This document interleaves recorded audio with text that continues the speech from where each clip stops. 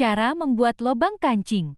Ganti dulu sepatu mesinnya. Caranya ikuti seperti di video.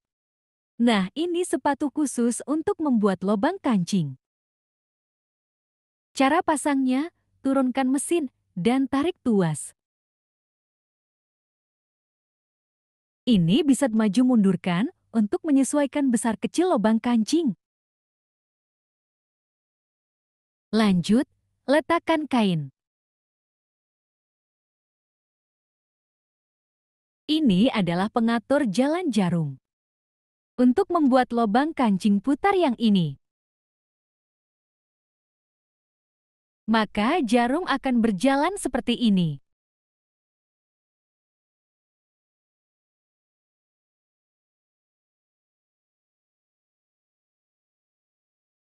Putar lagi ke nomor 1. Jarum akan berjalan zigzag secara vertikal ke bawah.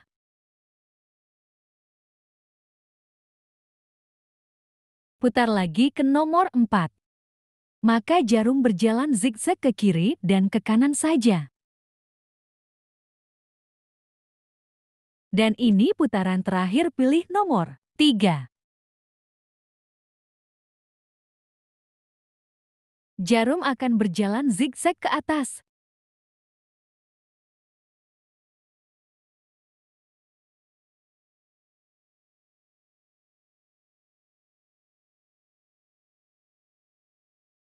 Sudah selesai, kalian bisa mengulangi cara tadi untuk hasil yang lebih maksimal.